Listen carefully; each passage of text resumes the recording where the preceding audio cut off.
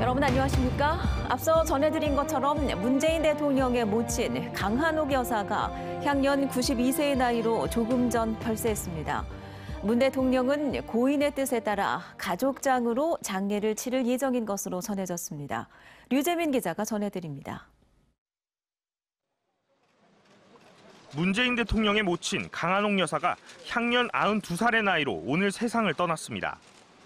우리나라 현직 대통령이 임기 중 모친상을 당한 건 이번이 처음입니다. 강 여사는 노환에 따른 신체 기능 저하 등으로 최근 부산의 한 병원에 입원했습니다. 오늘 오전부터 중환자실 앞엔 병원 보안요원과 청와대 경호원까지 배치돼 긴장감마저 감돌았습니다. 영부인 김정숙 여사는 강 여사의 건강이 악화되자 오늘 오전 고인이 입원한 병원에 미리 도착해 곁을 지켰습니다.